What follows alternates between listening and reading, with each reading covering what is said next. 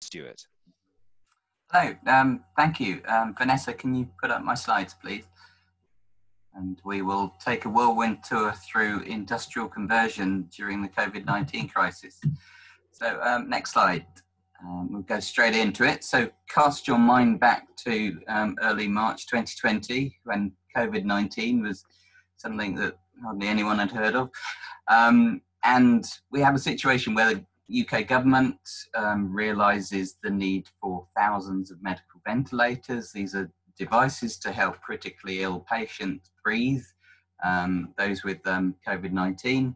And um, the modelling that the NHS did at that time revealed that there was a massive shortage looming, that they needed tens of thousands of these ma machines, and, and, the, um, and the NHS only had about 7,000 so what happened was government held a conference call with hundreds of senior reps from UK industry. They put out a, a, wider call through the internet and they set up this twin approach. So, okay, we can scale up the production of existing ventilator designs or we can try and design and manufacture new devices. Um, and so there's a twin track, a twin track um, followed and um, and various industrial consortia were um, set up.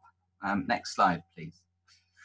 So I, am going to the, in the next couple of slides. I'll, I'll illustrate some of these consortia, and um, and on the first slide here, we've got the ones that did in the end end up supplying the NHS. So the biggest consortia was called the Ventilator Challenge UK, it had two approaches. Um, it took an existing model manufactured by a company called Penlon and um, it modified the design so that it was more um, suitable for COVID-19 patients and um, scaled up that design. It also worked um, with Smiths Medical to, to um, modify one of their designs.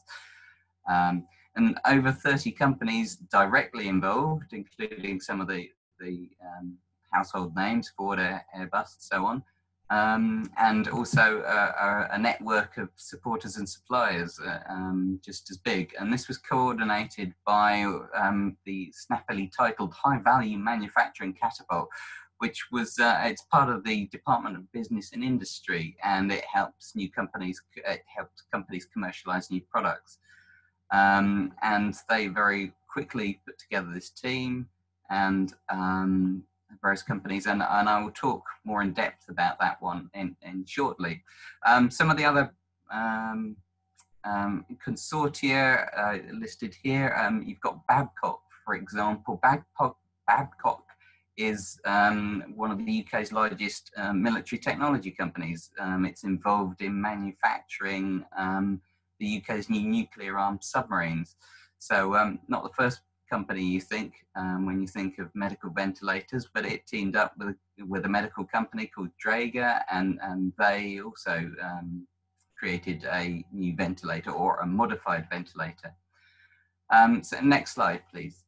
Um, so there are also various consortia um, that pretty much followed the, the design something new route. Um, and in the end, most of these are unsuccessful. And you can see here a list of, of um, the key ones here.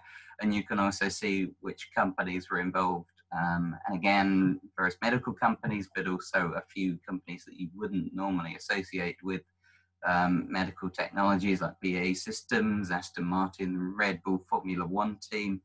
Um, so yeah, quite a few. So next slide. Um, so in this slide, what I've done is I've tried to summarize which sectors were involved in these various consortia. So in the middle column, there's um, um, the, the companies involved in the ventilator challenge, and I, have roughly categorized them according to which sectors they're in, and, and, and the right-hand column, um, the ones involved in other consortia. So you can see particularly um, surprisingly represented our motor racing companies. Formula One companies were um, heavily involved in this, military technology arms companies, um, and civil aviation um, were particularly well represented. Um, next slide. So to look in a bit more detail at the Ventilator Challenge UK consortium, what they did was, was as I say, they took the Penlon um, basically design of a ventilator and, and they modified it for COVID-19. Now, to give you an idea of, of, how complex a ventilator is, there's a few numbers here about um, the, the, number of parts involved, the number of supplies involved. The, one of the engineers involved in the um, production scheme said it, that they, these things are not quite as complex as a car. So it gives you an idea of the level of um, engineering um, complexity involved. And, and remember that these are medical equipments. They have to go through certification processes to check that they are suitable for treating patients. Um, and all this was done very quickly, so they rapidly ramped up production. First unit produced four weeks after the government call. Um, 12 weeks after that, they had 11,000 completed. So they were doubling production every few days. Um, it was really quite an impressive achievement. Um, and so the production volume was about 200 times what Penlon was originally producing.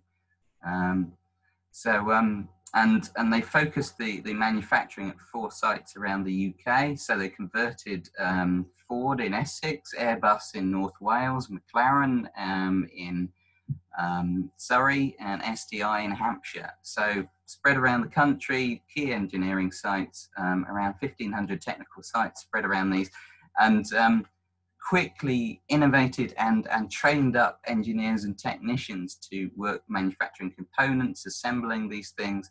Um, one of the innovative training methods they, they devised, and this remember this was during lockdown, this was when people were learning how to use PPE at work. Um, they used um, what's called mixed reality headsets. So you heard of virtual reality headsets, where these are headsets where you can see the outside world, but also superimposed on that, um, you've got um, various technical um, images that help the engineers learn quickly how to manufacture new components, assemble new components. Um, so a, a, lot of innovation there. Next slide, please. So, um, so yes, um, I went to a talk recently or, or, watched a webinar recently by some of the engineers involved in this and they, they gave these reasons for success within the program. So key at, at the start is the shared social goal. So there was a specific urgent health aim um, and that really helped focus minds, focus um, um, the people involved in the situation to, to get um, organized very quickly they're able to um, quickly make use of high quality manufacturing sites, um, technical staff, quality control standards that already existed in the UK, and, and had a strong willingness to innovate. Um, and there was a remarkable amount of collaborative working, um, close cooperation between regulators, businesses, trade unions, between businesses that normally don't work together, normally in competition with each other, a very flat management structure that they, they founded very quickly and um, importantly data sharing between all the businesses and government. So there was no um, data no um, data was not private um, so, and, and that was um, very important. And, and a simple relationship with the government with the customer. So um, in, in some ways really quite socialist and not typical of UK industry. So next slide um, but there are a number of caveats or interesting um, observations that I want to make, which I'll, I'll develop more in a minute. Um, although this was a, a, remarkable engineering program and, and the, um, um, the production was wrapped up really fast, um, it's, they still managed to miss all the production targets that the government set if the casualty rate was going to be as high as the worst worst case scenario. Lucky it wasn't, or not luckily, because other measures were put in place. But it it, it kind of showed you even at this rapid rate, um, they were missing targets by quite a wide margin.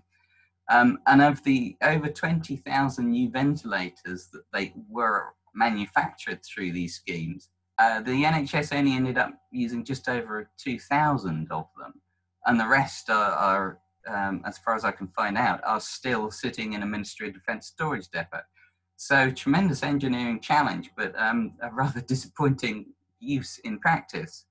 And, and another aspect of this was that the ventilators, while they were produced in large quantities, actually didn't turn out to be useful than other machines called CPAP machines. So these were smaller, um, less intrusive machines, and, and, and cheaper as well.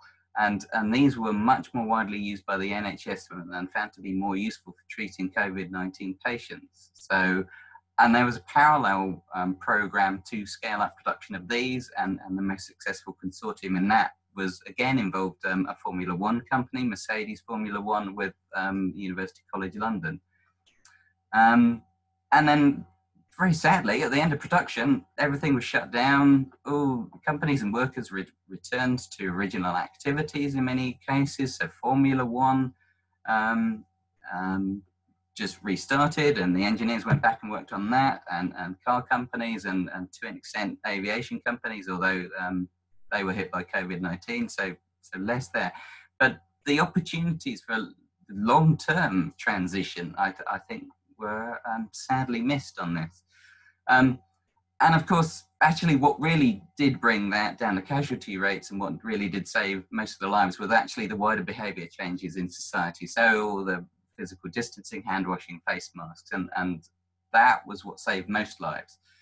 Um, so um, next slide, please. On, on my final slide, trying to draw together some um, lessons for the climate emergency. Um, key thing here is, is, kind of obvious. Early action to tackle a crisis avoids a lot of wasted effort. Although um, the, the, engineers did a remarkable job, um, it, it, was a lot less useful than, than if, it if, if more work had been carried out earlier to have, have more ventilators in stock, for example, before, um, as, as um, previous governments' reports had, had um, encouraged governments to do.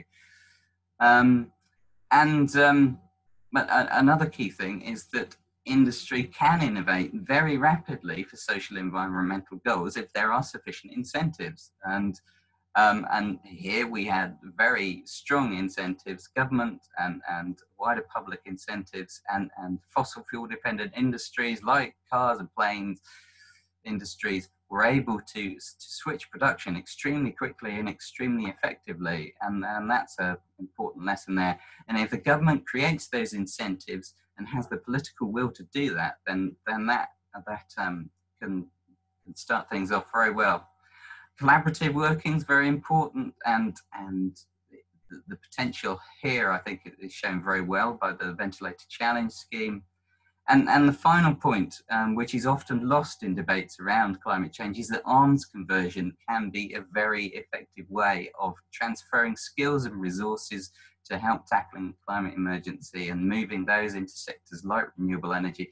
Global military spending is currently about $2 trillion a year and that is a, and that is mainly because of the um, nationalistic arms races that we're seeing, um, uh, with, driven by countries like the USA and and Russia and China, um, and it's a terrible waste of of, um, of resources there. So um, that's an opportunity that that we we need to make use of in the climate emergency.